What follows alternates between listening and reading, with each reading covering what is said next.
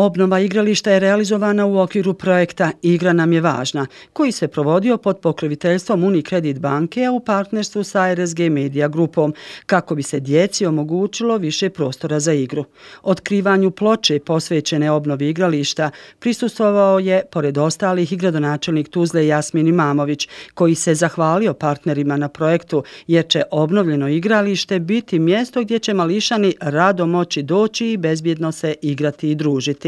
Danas e, imamo e, i dan poezije i dan starijih osoba, e, osoba starije dobi, a sve u oči 2. oktobra dana Tuzle, e,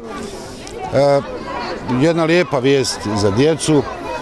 Dakle, na dan starijih osoba mi smo ovdje, e, imamo jednu lijepu svečanost, e, da, da svečano otvorimo novi mobilijar za one naše najmlađe sugrađane, Eh, jedan rezultat sinergije Unikredit banke, Radija Stari grad i ovaj grada Tuzle, a da život bude kvalitetniji onima eh, koji koriste ovaj eh, urbani mobilijar, parkovski mobilijar za najmađe.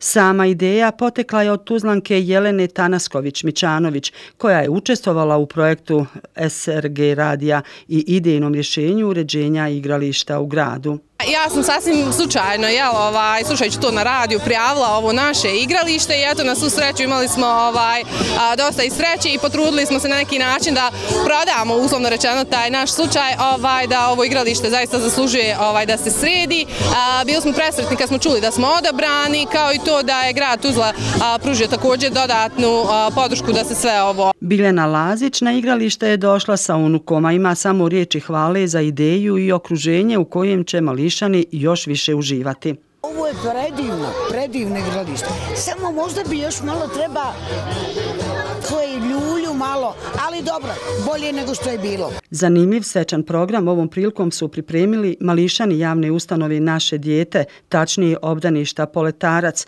a nastupili su i učenici drugog razreda osnovne škole Pazar.